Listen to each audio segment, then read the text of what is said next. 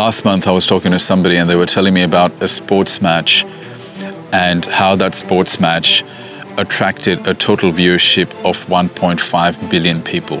So that was all the people that were in the stadium watching the the match live, as well as everybody else that was watching that match on television.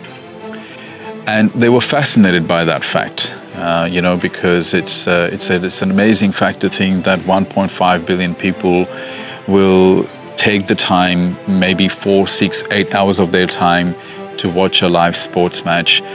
And I was fascinated with that fact as well, but I think I was fascinated with that fact for a different reason to why he was fascinated. And my reason for fascination is simply this. It is so difficult to get a group of 100 people or a thousand people to come together to work towards something positive like world hunger, poverty, or eradication of crime. It's so hard to get people to come together to protest peacefully towards a worthy cause. Yet it seems that people have no trouble in being able to put aside six to eight hours of their time to watch a sporting match, which is going to at best provide temporary relief and entertainment, but make absolutely no positive change to their long term life.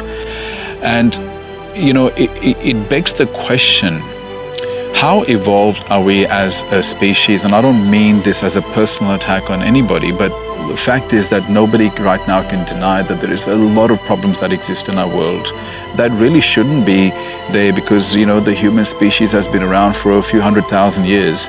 And we should have by now worked out a solution where no one should go hungry that there should be there should be no human trafficking there should be no sex trafficking there should not be the kind of violent crime that exists today. And i think one of the reasons why a lot of these problems prevail is because uh, it's very hard to get people together to work towards a, a worthy cause. However, uh, it's always amaz- it always amazes me that concerts and stadiums are packed today and people find the time and the money and the resources uh, to watch things that cater to their primitive instinct. Yet majority of people are unable to find time and resources uh, or energy to put towards worthy causes.